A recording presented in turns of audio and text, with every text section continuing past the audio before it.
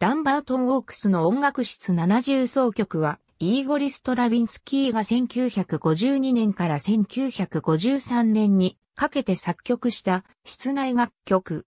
ストラビンスキーのアメリカ時代の作品で、セリール音楽の技法を使用した作品としては、カンタータに続く第2作。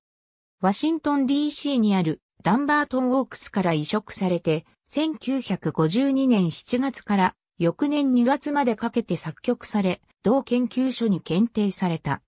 ダンバートン・オークスは、元ロバート・ウッツブリス夫妻の邸宅で、夫妻の依頼によって、競争曲、ダンバートン・オークスや、公共曲波長が書かれた。1940年以降、ダンバートン・オークスは、ハーバード大学に寄贈され、その研究機関になっていた。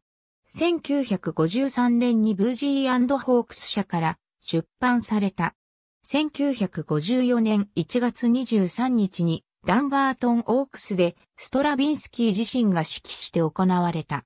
クラリネット、ホルン、ファゴット、ピアノ、バイオリン、ビオラ、チェロに楽章あるいは三楽章からなる。第三楽章にあたる部分は実際には楽章の表記がなく、第二楽章の延長とも捉えられる。演奏時間は約12分。